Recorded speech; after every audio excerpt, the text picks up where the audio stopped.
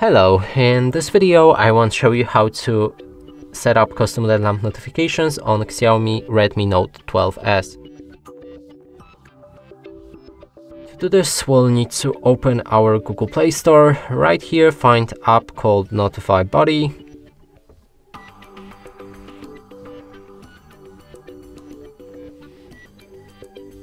Install it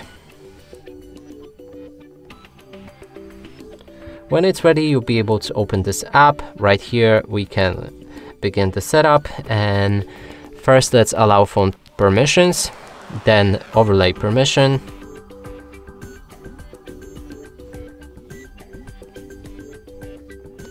And the last is notification permission.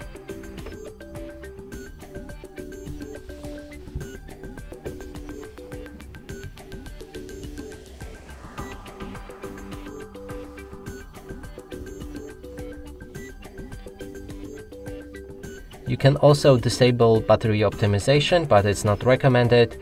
Try if the app works fine for you. If it doesn't, then go back and disable it. From here we can start using this app. There's four different tabs, user, system, active and settings. In user you can enable any apps and allow them for custom LED lamp notifications.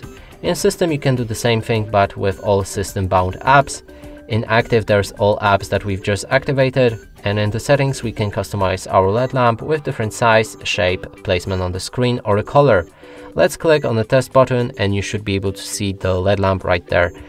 And that's it for this video, hope you like it, please consider subscribing to our channel, leave a like and a comment below.